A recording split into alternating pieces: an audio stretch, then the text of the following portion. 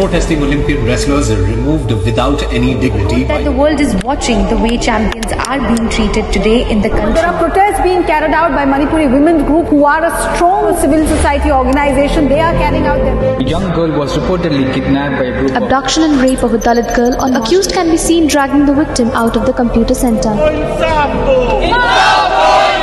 have every right to know if every girl is safe. especially Dalit women and girls who are targeted.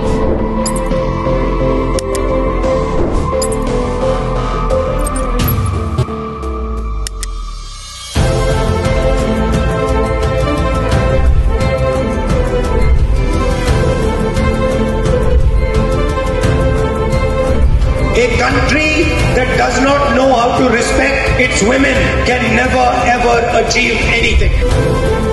Because India's strength are our women. How can you talk about the future of a country if you cannot respect its women?